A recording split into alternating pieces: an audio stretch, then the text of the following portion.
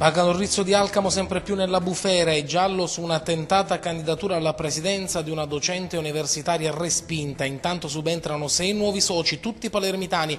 Dai nuovi vertici scompaiono gli alcamesi dopo l'indagine della Banca d'Italia su presunti passivi di 5 milioni di euro negli ultimi 5 anni. Strade Groviera Castellammare del Golfo, l'ordinanza shock del sindaco, niente interventi di manutenzione, ma solo cartelli per indicare il pericolo. In questo modo il primo cittadino vuol tentare di evitare la raffica di risarcimenti danni ai veicoli e alle persone. Si va verso il completamento della toponomastica ad Alcamo Marina, gli uffici però sono senza operai e si paventa l'esternalizzazione del servizio.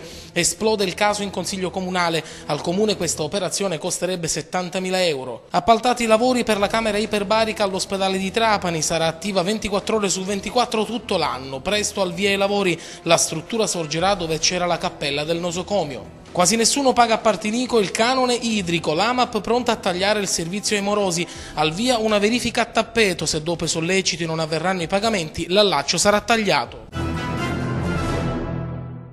L'informazione di Alpa 1 torna puntuale anche per questa nuova edizione, un ben ritrovati a tutti i telespettatori. In apertura l'attenzione della Polizia Municipale di Trapani sul mercato ittico con un'operazione questa mattina insieme alla Guardia Costiera. È stato effettuato un controllo finalizzato a garantire ai consumatori l'igienicità dei prodotti ai commercianti l'esercizio di una regolare concorrenza. 150 kg di pesce di varia specie sequestrati a carico di ignoti, oltre ad un carretto, una bilancia elettronica, un coltello e due grossi contenitori in plastica. I commercianti abusivi, presumibilmente quattro, alla vista degli agenti si sono dati alla fuga mescolandosi tra la gente che in quel momento affollava il mercato. Il pesce consegnato all'ASP per i necessari controlli sarà distrutto per l'impossibilità di tracciarne la provenienza. E come avete sentito dai titoli parliamo ancora della Banca Don Rizzo di Alcamo perché è sempre più nella bufera. È giallo su una tentata candidatura alla presidenza di una docente universitaria candidatura che è stata però respinta. Intanto subentrano sei nuovi soci, tutti palermitani. Dai nuovi vertici scompaiono gli alcamesi dopo l'indagine della Banca d'Italia su presunti passivi di 5 milioni di euro negli ultimi 5 anni di servizio. Ci sarebbe un giallo nella vicenda legata alla candidatura a presidente della Banca Dorrizzo di Alcamo. Intanto c'è un solo candidato, si tratta di un professionista che per diversi anni ha avuto un ruolo nell'istituto fondato nel 1902 dal sacerdote Don Giuseppe Rizzo. Il candidato, per come abbiamo riferito in precedenti telegiornali, è Sergio Amenta, presidente del Collegio del Revisore di Conti sino a quattro anni fa. Si tratta dunque di una persona che conosce molto bene i meccanismi della Banca d'Orrizzo che sta attraversando uno dei periodi più difficili della sua secolare e gloriosa storia. Il giallo è legato ad una delle ultime assemblee del Consiglio in carica dove sono stati ammessi in sei come soci, tra avvocati, consulenti, imprenditori agricoli, eccetera, tutti palermitani. Costoro, alcuni giorni dopo, hanno presentato le candidature per un posto in consiglio o nel collegio sindacale tutti debbono avere il gradimento dell'ICREA regionale, che è il vero regista e arbitro delle prossime elezioni. È giusto che occorre un curriculum, che oggi sono necessarie professionalità, ma in questo modo tutto sembra già apparecchiato per il prossimo 8 novembre. Pare che il Consiglio della Banca d'Orrizzo non avrebbe, nella seduta dell'ammissione dei sei, esaminato forse per motivi di tempo una settima richiesta di ammissione a socio presentata da una docente di economia e finanza presso l'Università di Palermo, facoltà di ingegneria gestionale. La docente universitaria aveva intenzione di presentare la candidatura a presidente, cosa che non può fare non essendo socia la docente resterà con le mani in mano o andrà a protestare alla Banca d'Italia. Sembrerebbe che i sei nuovi soci appena arrivati andrebbero a ricoprire cariche nel Consiglio e nel Collegio dei Revisori dei Conti. In pratica, se ciò si verificasse, nella Dorrizzo non ci sarebbero più alcamesi nell'attività gestionale. Intanto il Consiglio in carica, eletto nel marzo dello scorso anno, perde pezzi. Infatti si è dimesso l'imprenditore castellammarese Gregori Bongiorno, presidente provinciale degli industriali. Uno dei primi adempimenti che la nuova amministrazione dovrà fare appena eletta è quello di nominare i nuovi dirigenti e avviare il piano di risanamento per rilanciare la Banca d'Orrizzo. C'è comunque grande incertezza sulla riunione dell'Assemblea dei soci della Banca d'Orrizzo di Alcamo convocata per il prossimo 8 novembre per eleggere l'intera governance. Se anche l'8 novembre tutto dovesse ancora essere rinviato, non si esclude che arrivi un commissario. Oggi l'importante è fare presto perché la Dorrizzo ha le risorse umane, il personale è pronto a sbracciarsi per continuare a vivere e prosperare ancora per tantissimi anni e scongiurare così possibili accorpamenti con la banca di credito cooperativo di San Cataldo.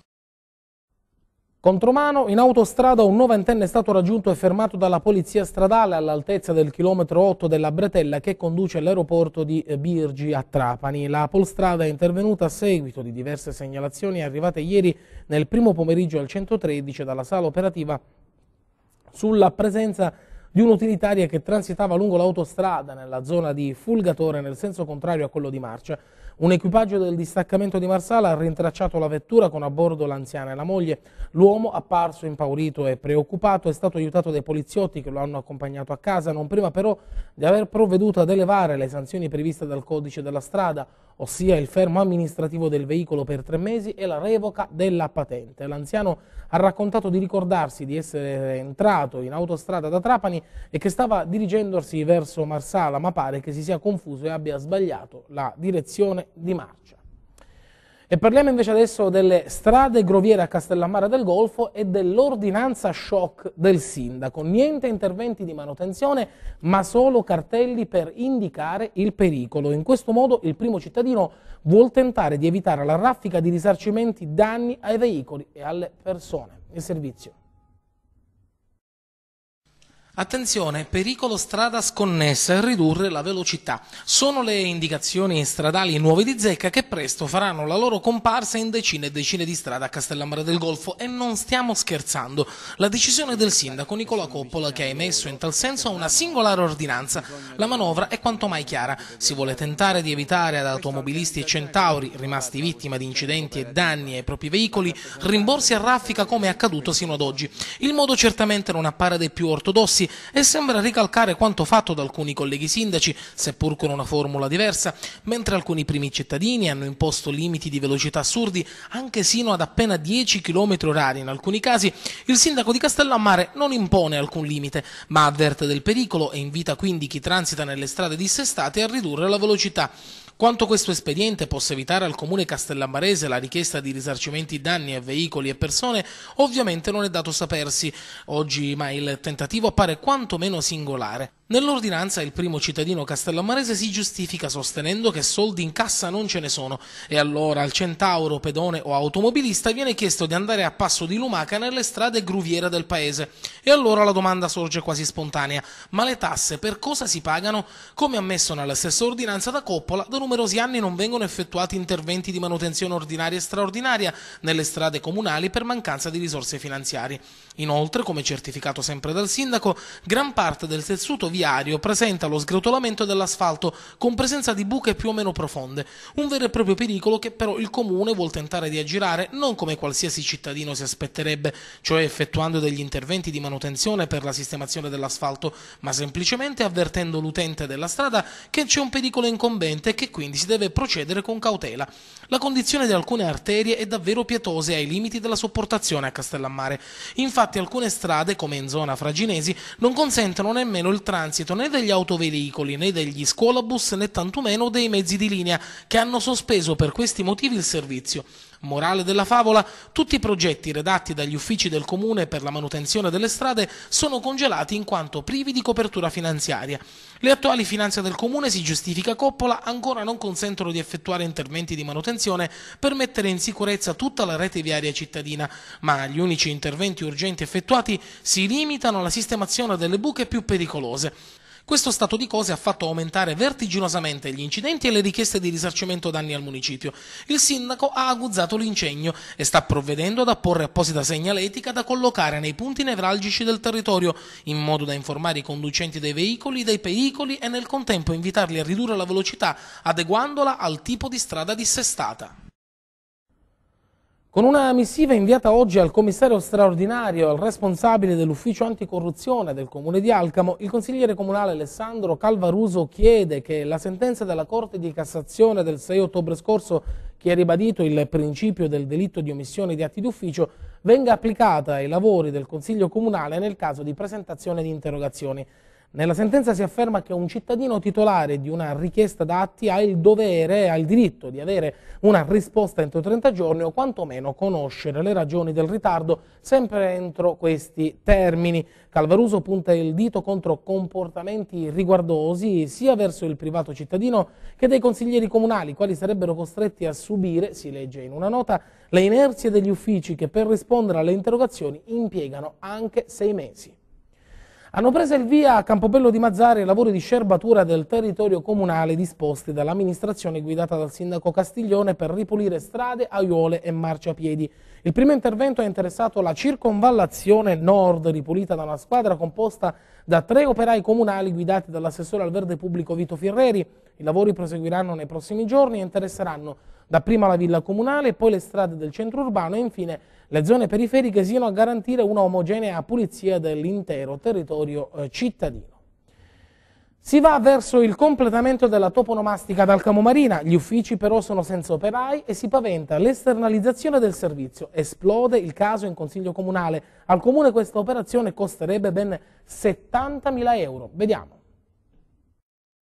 Si parla tanto di risparmio al comune di Alcamo, ma poi la direzione non sembra per nulla questa, per un motivo o per un altro. Soprattutto il tormentone è quello di internalizzare i servizi, ma l'obiettivo appare sempre più distante. E adesso spunta fuori che non solo non si riesce a gestire in house i servizi storicamente da sempre in appalto, ma addirittura se ne vogliono affidare degli altri.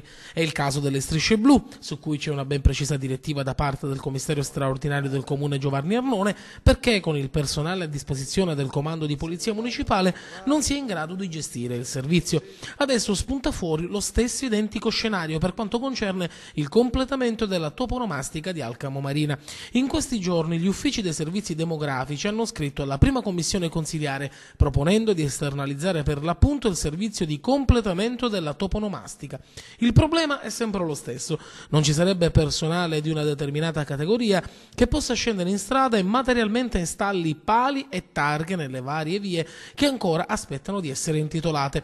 Un giochetto di non poco conto per il comune di Alcamo. Questa operazione infatti costerebbe qualcosa come 70.000 euro alle casse municipali che certamente in questo momento non stanno attraversando un periodo molto florido. A sollevare la questione il consigliere Benedetto Vesco che si dice preoccupato per questa ipotesi di esternalizzare, tanto che ha sollecitato il commissario affinché eviti questa soluzione prospettata dagli uffici. È un lavoro che può essere svolto, non svolto, continuato dal, dal personale eh, comunale. Eh, eh, qualora, qualora, il settore servizi demografici venga eh, imp implementato di eh, unità e di risorse umane dando uno sguardo al sito internet dell'associazione alcamomarina.it che raccoglie tutta la toponomastica della zona costiera, si evince che in totale sono 149 le strade lungo la vasta zona periferica alcamese.